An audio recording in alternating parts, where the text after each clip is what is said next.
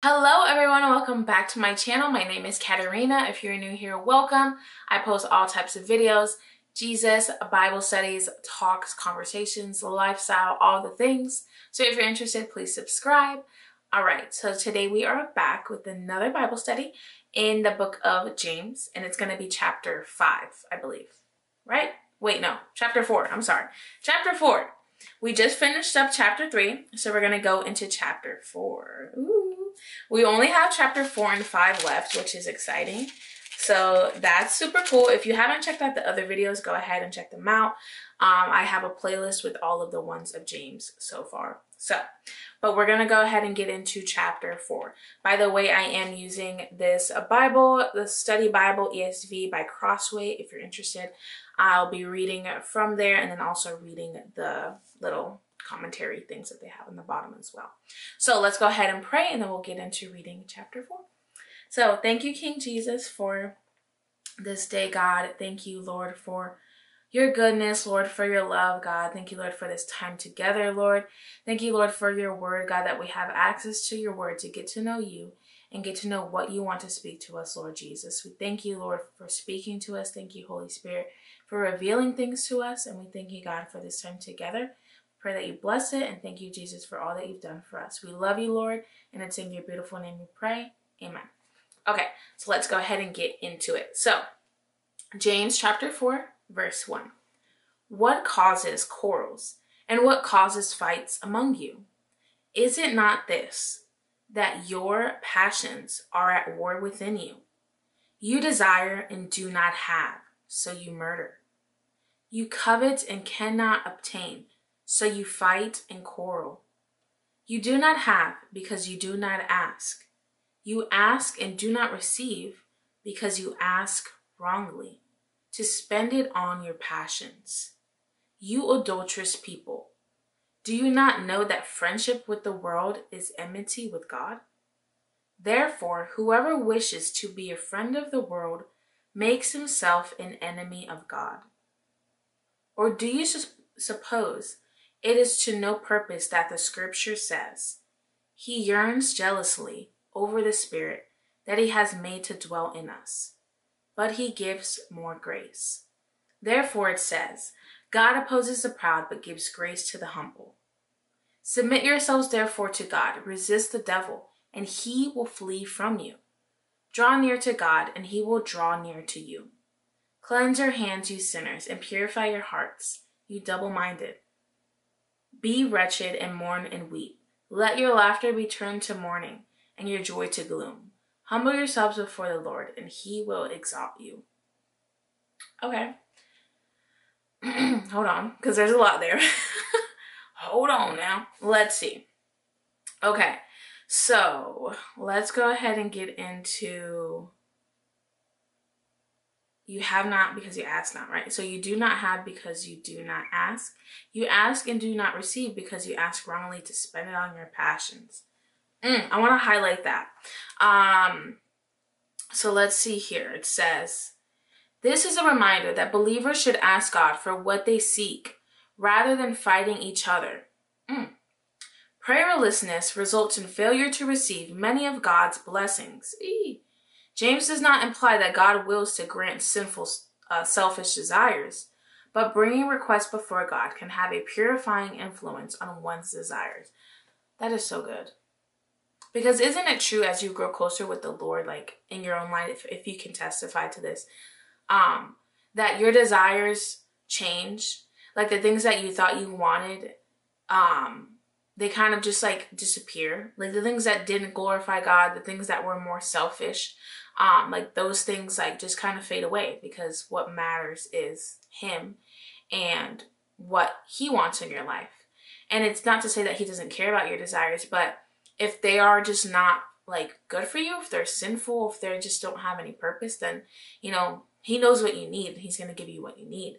Um, but I think it's just so good because it says, you know, here like what we read is that um bringing requests before God can have a purifying influence on one des- one's desires, you know. So he will go ahead and take out those desires that don't really matter and you won't even have a desire for them anymore and he will replace them with good things, you know. Um, so I love that so much. Let's see what else it says. It says, Not all prayers are pleasing to God, only those consistent with his will as revealed in Scripture. Rather than seeking to honor God and advance his kingdom purposes, such prayers seek only to gratify self centered passions. Mm. James is not saying all pleasure is wrong, only pleasure that does not have the have the glory of God as the goal. Man, that is so good. I honestly have been convicted this past week, I would say, um, about selfishness and like just being selfish with my prayers, my time, my thoughts, just like me, me, me, me, me, me, me, and just like getting consumed in things that like I don't need to be consumed with. Um, and it's so easy to get like that, and um, just like to get your eyes like like not on Jesus, you know, like just to get distracted with things that just like are not like not worth your time or not even the season that you're supposed to be in. Um so yeah, that convicts me because and like what my um one of my pastors preached on at church this past Sunday was about like being selfish and just like, you know, not like like being so comfortable in our own little bubble in our world and not like thinking about other people, not praying for other people, not, you know, being generous, not, you know, giving your time for others, just like so many things. So this is just speaking right to me, child, right to me. Okay. Yeah. I think wherever you're at in your life, I feel like you can always take a look at your life and be like, yeah, I can do something for someone else. Like, yeah, I can pray more for somebody. Like, you know, because our sinful nature by on its own is selfish by default so we're always gonna have that in us. It's just how much are we willing to lay down to be more like jesus to you know change more and just like serve more and love people more. Um so good. Let's see what else we can go over here.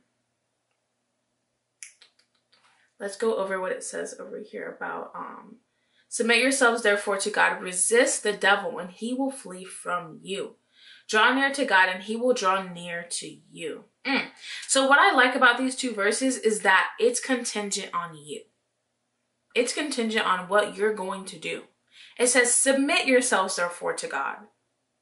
That means you got to submit yourself to God. God's not going to make you submit yourself to Him. You have to do it, right?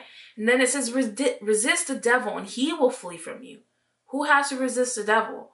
God's not going to resist the devil for you. You resist the devil, and then he will flee from you. Wow. Draw near to God, and he will draw near to you. Mm. Oh. It doesn't say it the other way around. It doesn't say God's going to draw near to you, and then you can draw near to him. God is always pursuing you, first of all. But what this is saying is if you draw near to him, he will draw near to you. Like he is a gentleman. He's not going to force himself on you. So the more that you seek him and the more that you want to want himself to be revealed to you, you will see that because he's always there. Um, that is just so good. Mm, let me see if what this says about that part specifically. What was that? Those are verses 7 and 8. Yeah, 7 and 8. Let's see. The only way to resist the devil is by also submitting and drawing near to God. Mm. Satan will be defeated and will have to flee, as he indeed, as indeed he did from Christ in Luke chapter 4, verse 13. Mm. So good, so good. Okay, what else? Here we go. Do not speak. Okay, we're going to get into, uh, let me see here really quick. We're going to finish this chapter. Yeah, we can finish it up. Um, verse 11. Do not speak evil against one another, brothers. The one who speaks against a brother or judges his brother speaks evil against the law and judges the law. But if you judge the law, you are not a doer of the law, but a judge. There is only one lawgiver and judge, he who is able to save and to destroy. But who are you to judge your neighbor? Who are you to judge your neighbor? Huh? James said, But who are you? James, James got a little sass, I'm not gonna lie to you. He be coming for us. Mm, all right, go off. Yeah, okay. Let me see what it has to say about that. Um, James restates the basic problem behind the issues discussed in chapter 3 the misuse of the tongue to speak evil or to slander others. Speaking ill of others is a result of all the arrogant boasting, jealousy, self centered desires, and pride that James is warning against. Mm. Such slanderous conduct is decreed in both the Old, Old Testament. Um, okay. When a person begins to judge the law, he is, I don't know that word, usurping the place of one lawgiver and judge. God alone gave the law, and he alone is judge of all. Hallelujah. Mm, okay, let's go ahead and continue on. Verse 13 Come now, you who say, Today or tomorrow we will go into such and such a town and spend a year there and trade and make a profit. Yet you do not know what tomorrow will bring. What is your life? For you are a mist that appears for a little time and then vanishes. Instead, you ought to say, If the Lord wills, we will live and do this or that. As it is, you boast in your arrogance. All such boasting is evil. So whoever knows the right thing to do and fails to do it, for him it is sin. Ugh. Okay, wait. There's a lot here. Wow. Okay. Mm. I love this. I love this so much. Okay. it's so good. That's why you know when people say like Lord Lord willing, God willing, yeah, like cuz if God wills, it'll be done. And it's good to have a plan, you know, like we we know like it's good to have a plan, it's good to be organized and all these things. But at the end of the day, like we really don't know what's going to happen today. I don't know what's going to happen within the next 5 minutes. I don't know what's going to happen next week. I have plans. I do have plans. Um after this video I might go eat something. That's my plan, but it might not happen. I don't know. I don't know you know, James said, What is your life? James is coming like for us. I'm I don't have to talk to him in heaven. I'm just kidding. But he's like, What is your life? For you are a mist that appears for a little time and then vanishes. Yo. No, but for real, it's so true. This is really humbling. oh my gosh, this is so good. As it is, you boast in your arrogance. All such boasting is evil. And then I love this part. So whoever knows the right thing to do and fails to do it for him, it is sin. Listen, a lot of people think that like you can be like Switzerland and like, you know, not say anything, not and be passive and do all these things. But it's the Bible says, so whoever knows the right thing to do, if you know the right thing to do and you don't do it because you want to be passive and you don't want to get involved or whatever it is, and you fail to do it for him, it is sin. It is sin for you. So be mindful of that. Just gonna drop that there. Put it into whatever context you think it should go into, into your life. But I'm just saying, don't be passive because it says if you know the right thing to do and you fail to do it, you're sinning.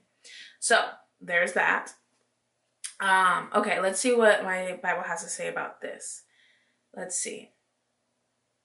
Boasting about tomorrow, James addresses merchants, showing that the sovereignty of God precludes presumption and arrogance in making one's plans.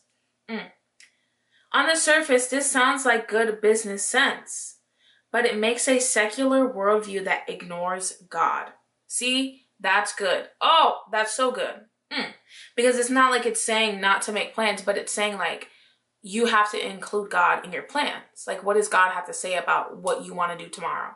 What does God have to say about you wanting to move somewhere in a year? You know what I'm saying? Oh, that is so good.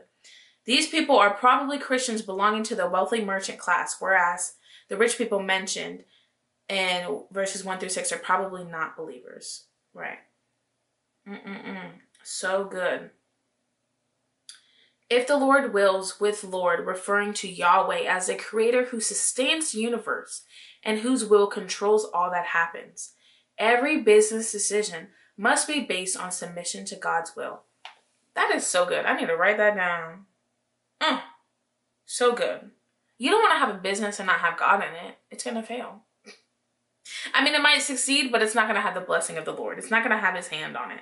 So include God in every single thing that you do. Mm. Okay. Well, that was chapter four, you guys. We went through it. we're gonna get into chapter five in the next couple videos. But um, chapter four, look at us trucking through James.